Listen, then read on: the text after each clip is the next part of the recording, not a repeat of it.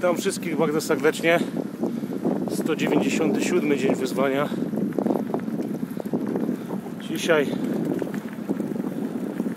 około 30 km trasa. Wieje dosyć, tak średnio, ale ciepło jest bardzo. Z wiatrem, pod słońce, to gorąco jak w lecie. Teraz jak pod wiatr to też jest ciepło. Nie ma za bardzo czynnika chłodzącego ten wiatr dzisiaj. O tej godzinie przynajmniej. Pozdrawiam wszystkich. Do następnego. Szałka.